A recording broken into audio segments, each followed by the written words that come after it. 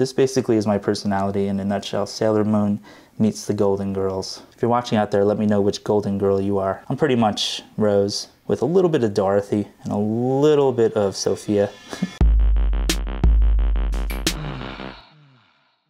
Greetings Aqua fam, it is Ben Aqua and in this video we're going to be comparing the speed between the 2019 iPad mini, which is the iPad mini 5th generation, versus the 10.5 inch iPad Pro from 2017. So first things first, I ran a Geekbench on both of these devices and you can see the 10.5 inch iPad Pro 3751 single core, 9124 multi-core. This is due to the Apple A10X Fusion chip versus the iPad mini which has Apple's A12 Bionic chip. The 2019 iPad mini came in at 4771 for single core and 11097 for multi-core. So you can already tell that the A12 Bionic chip is going to be a little bit faster, maybe even oodles faster than the A10X Fusion chip on the 10.5 inch iPad Pro. The 10.5 inch iPad Pro is an amazing device.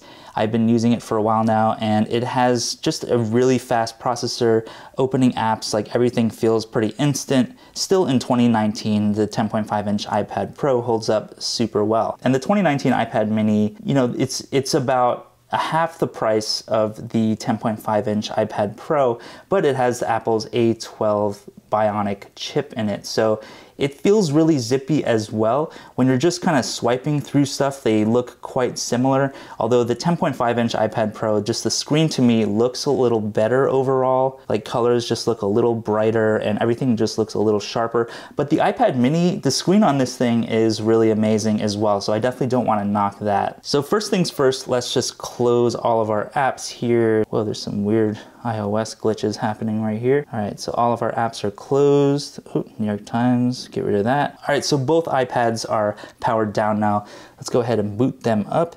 Three, two, one.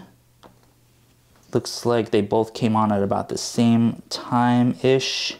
iPad Pro actually looked like it came on just a tiny bit sooner. Going, going, going. Oh, iPad mini came on first.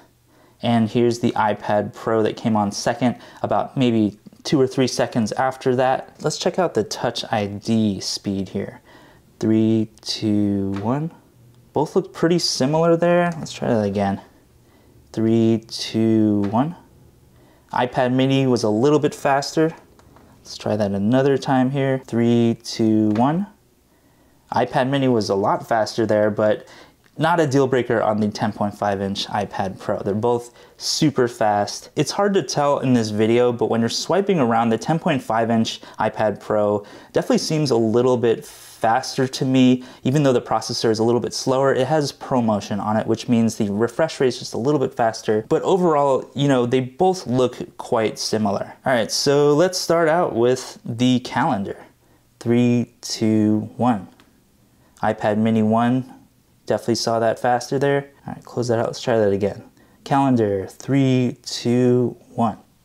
All right, iPad mini opened pretty much instantly where there's maybe a tiny, you know, a few milliseconds of a delay on the iPad Pro with calendar, but both of them were super fast. All right, let's go to reminders. Three, two, one, iPad mini opened up maybe a second faster or a millisecond faster. That was really close, but the iPad Pro was not super far behind. Let's close these two out. Let's try reminders one more time. Three, two, one. iPad mini opened a little bit faster. I do appreciate the bigger screen on the iPad Pro, but the iPad mini is so cute. You know, the size of it just feels like something I can actually carry around more. The iPad Pro feels bigger. You know, the screen is a little bit nicer quality. I have the brightness turned up at 100% here, and I have True Tone turned on for both devices. And just looking at the two of them, the iPad Pro looks like a brighter screen. And True Tone is looking really good on both of these.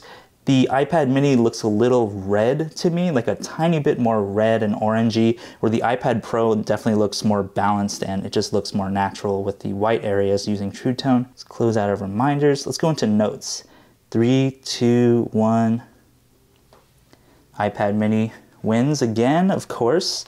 and the iPad Pro maybe came on a second before that, but they're both super fast.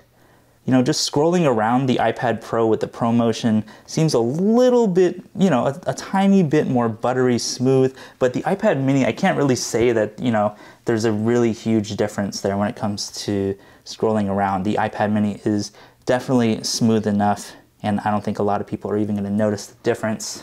All right, let's go over to photos. Three, two, one. iPad mini was basically instant. Three, two, one. You know, they're, they're both basically instant, except the iPad mini seems definitely a little bit faster. All right, let's open Lightroom. Three, two, one. This is a very graphics heavy app. So it looks like iPad mini barely was faster than the iPad Pro. Let's try that one more time. Three, two, one. All right, iPad mini looks like it's up. iPad mini's already up. And iPad Pro was maybe a second or two behind, but not by a lot here. When it comes to screen size, I definitely prefer the iPad Pro most of the time because, you know, I'm doing a lot of photo editing on both of these screens and just having that extra real estate on the iPad Pro makes a huge difference when it comes to editing photos. The colors and the sharpness on the iPad Pro screen are just super vivid and I really appreciate the attention to detail with that. But the iPad mini is not super far behind when it comes to the display quality. Colors look vibrant on both. The viewing angles are maybe a little bit better on the iPad Pro, but in general, they both look pretty damn good. Scrolling seems nice and smooth, a little bit smoother on the iPad Pro. All right, so let's close out Lightroom and let's open up Twitter. Three, two, one. Going, going. Both basically identical. iPad mini maybe was a tiny bit faster. Let's try that one more time here. Three, two, one. Basically identical. I don't really see a huge difference for Twitter. All right, Procreate. This is one of my favorite apps. Three, two, one. Looks like they opened at about the same exact rate here. Let's close them out. Let's try that one more time. Three, two, one. Oh, iPad mini actually opened up instantly in that one. Procreate was a little bit slower on the iPad Pro by about maybe a second or two. I will say this though, when it comes to actually drawing on the two screens using Procreate, this is where I probably noticed the biggest speed difference between the two devices. So when I'm using the Apple Pencil on both of these devices, it seems like there's a little bit of lag on the iPad mini when I'm drawing. Even though the iPad mini has that A12 Bionic chip, for some reason it just didn't seem as fluid as when I'm drawing on the iPad Pro using the Apple Pencil, where it just seems noticeably just faster. It seems almost instantaneous when it comes to drawing. I do love that the iPad mini does support the Apple Pencil first generation. Let's try some more apps here. Let's open up the New York Times. Three, two, one. All right, I iPad mini opened slightly faster there and maybe by about half a second. Let's try that one more time. New York Times, three, two, one iPad mini faster by about a second. So the scrolling seems very smooth on both devices. Again, a tiny bit smoother on the iPad Pro because of ProMotion. Let's open up news. Three, two, one. Seems like iPad mini is already loading some stuff over here. Oh, iPad Pro is actually a little bit faster. That was kind of surprising. Let's try that one more time for kicks. All right, news. Three, two, one. The iPad mini was almost instant. iPad Pro actually came in a little bit after the iPad mini, but not by a huge margin there. Scrolling seems pretty good on both. Let's open up the same article on both and see how they load. Three, two, one, open. iPad mini seems a little bit faster. Let's open up this one. Three, two, one. iPad mini was maybe a tiny bit faster, but they're both basically instant when it comes to opening articles. All right, more stock apps. Let's open Clock. Three, two, one. Instant on the iPad mini, a little bit slower on the iPad Pro, but I do like that you can see more of what's going on in the app on the iPad Pro. Scrolling seems pretty good on both. Let's try home. Three, two, one. All right, so iPad mini opened first. Let's do the measure app three, two, one. opened up a tiny bit faster on the iPad mini. The camera is one of the biggest differences between the iPad Pro and the iPad mini. I tried out the iPad mini, the camera on there basically it gets the job done but it basically sucks it reminds me of maybe the iphone 4 whereas the ipad pro has a much better camera where the photos look basically really similar to maybe the 8 plus or the iphone 10 much better camera on the ipad pro. So let's open up the camera now. Three two one. Basically instant on both. Let's try that again. Close everything out here. All right. Swipe down, get the camera, three, two, one. Basically instant on both of those. I did not see a difference on either one. TV, three, two, one. iPad mini is definitely loading a little bit faster. Yeah, it's maybe two seconds faster than the iPad Pro. Scrolling looks good on both. Using the iPad mini for a little while, I do appreciate that the screen is a little bit better than the iPad mini 4 but I definitely miss the ProMotion a little bit on there. Like if you've used ProMotion for a while on iPad Pro 10.5 or the newer iPad Pros, you're a little spoiled on how smooth all the motion seems. All right, now let's try out Hulu. Three, two, one.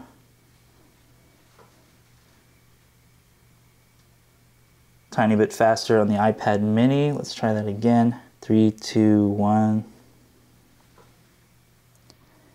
About a second faster on the iPad mini. All right, podcast, three, two, one. A little bit faster on the iPad mini by a couple seconds or one or two seconds pretty fast on both of these though. You're kind of getting the picture. The iPad mini is faster overall than the iPad Pro, but the iPad Pro definitely holds up. It doesn't feel slow by any means. Like there's really not a whole lot of things that I can do on the iPad Pro that slow it down where I'm like, oh damn, I wish this was faster. It just handles everything super well and the screen still looks amazing. But the iPad mini is so cute, you know, it's the size of it is a lot more portable, obviously. I wouldn't say pocketable, but it feels like something that I'd want to carry around more than the iPad Pro, which feels a little brittle. Like, you know, it's just so huge. It's not really something that I would just throw in a bag without a case where the iPad mini feels robust. You know, it's, it's thinner, it's lighter, it's smaller, the screen is really nice on it, not as good as the ProMotion on the iPad Pro, but I still appreciate the smaller size of the iPad mini and two-hand typing on there is actually really easy to do and feels really natural. Where two-hand typing on the iPad Pro, your fingers actually feel like they get hurt a little bit when you're typing because you're holding up the device that's a little heavier than the iPad mini and you're also typing and it just feels a little awkward after a little while. So that's a really not so scientific speed test between the iPad Pro 10.5 from 2017 and the iPad mini 5th generation. Let me know what you think in the comments. I was really impressed by both of these devices, but the iPad mini obviously wins when it comes to basic speed, except the iPad Pro is not super far behind. It's basically like a second or two behind the iPad mini when it comes to everything. But like I said, both of these devices are super fast Neither one of them is really going to cause a huge dilemma when it comes to speed alone. So the biggest difference is obviously the screen size on the iPad Pro, 10.5 inches, versus the smaller iPad mini, which is a lot more portable, a lot lighter, and a little bit faster than the iPad Pro. You're not going to go wrong with either one of these devices, and let me know which iPad you're going to go with. If you have any questions for me, leave them in the comments. I hope this video was helpful for you. Don't forget to smash the like and subscribe buttons. Hit me up on social media media at B3NAQUA. Thank you so much for watching, and I'll see you in the next one.